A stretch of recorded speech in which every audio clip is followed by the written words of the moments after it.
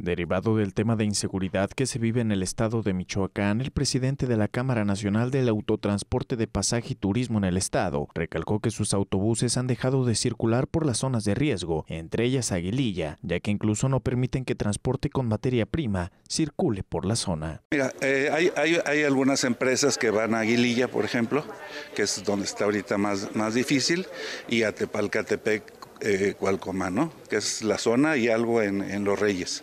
¿sí? Este, pues cuando empiezan los problemas, pues la misma autoridad nos prohíbe circular y dejamos de ir días, ¿no? Por ejemplo, Aguililla, pues se tiene meses que no se, que no se va a Aguililla porque no te dejaban entrar, ¿no? No podía ir la pipa a llevar combustible, no podía subir el del pan, no podía... Iba la gente pues, a comprar a Patzingán porque ni siquiera materia prima tenían allá, ¿no? Y ahorita, bueno, pues ya está interviniendo la Secretaría de Seguridad Pública, la Guardia Nacional, pero pues está el enfrentamiento ahí, ¿no? Y sí, sí nos afecta, pero en la mayoría de la ruta ¿sí?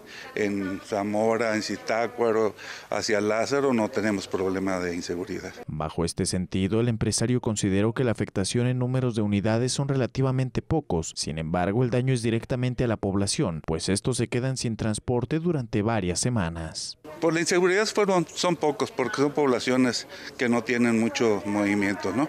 Nosotros este, con Paricuni tenemos dos servicios a Cualcomán al día, este, cuatro a Tepalcatepec, Aguililla no subimos. Entonces, este, realmente, y, y, es por uno o dos días que suspendemos y ya cuando se tranquiliza volvemos a renomar.